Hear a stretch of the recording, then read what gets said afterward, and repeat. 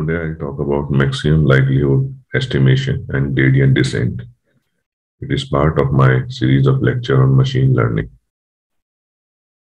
Maximum likelihood estimation is a method of estimating the parameters of an assumed probability distribution given some observed data. This is achieved by ma maximizing a likelihood function so that under the assumed statistical model, the observed data is most probable. So it depends on the observed data. We work with the natural logarithm of the likelihood function. Uh, hence, it is known as log likelihood. So if uh, I have taken this uh, from this uh, source, uh, if this is the natural logarithm of likelihood function, and uh, then the partial derivatives of log likelihood with respect to each parameter when equated to zero. These are known as likelihood equations. And we can solve these equations to get the parameters. However, it is not feasible all the times. We may also require Hessian matrix to calculate the parameter values.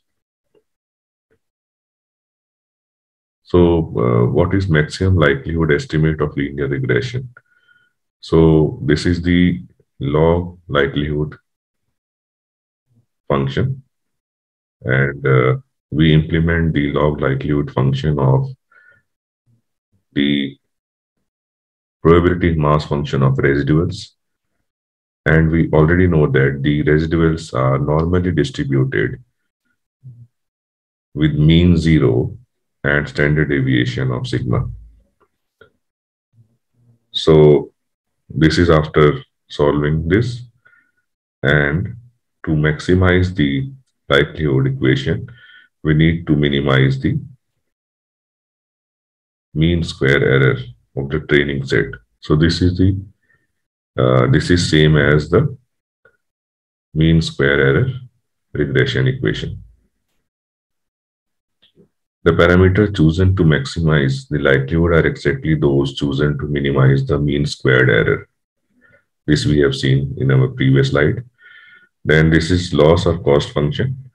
So it is the partial derivative of cost function.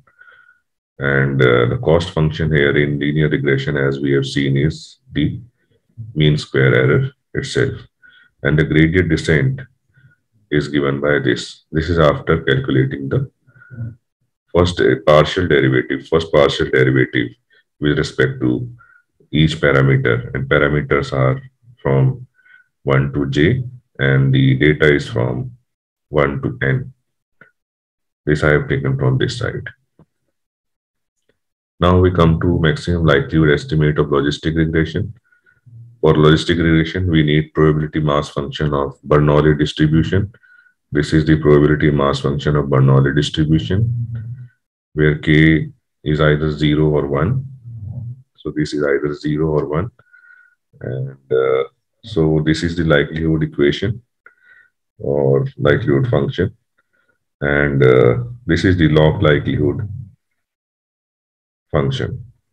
So it is as observed value of outcome variable multiplied by log of predicted value plus 1 minus observed value multiplied by log of 1 minus predicted value.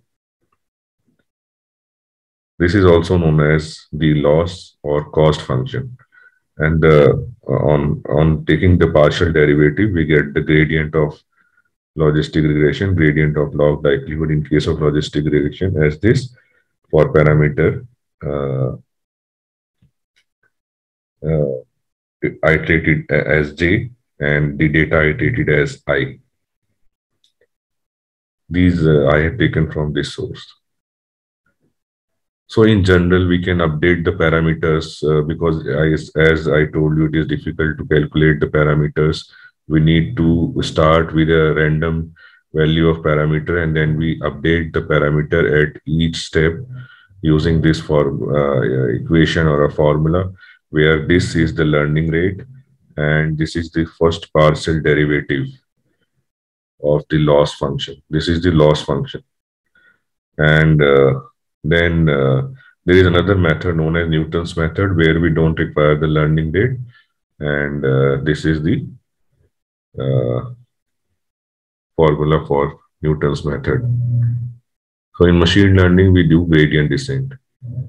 So this is the uh, illustration of gradient descent. The cost function, the use value of this uh, shape and uh, uh, initially we uh, start with a random value of our parameter then we calculate the gradient or slope by first partial derivative then we by using the learning rate we keep on uh, uh, updating the value of our parameters and we reach the global minimum here So there are two types of gradient descent in machine learning. One is batch gradient descent, which refers to calculating the derivative from all training data before calculating an update. Whereas in stochastic gradient descent, we calculate the derivative from each training data instance and then calculate the update at each instance. This is the illustration of stochastic gradient descent and simple gradient descent.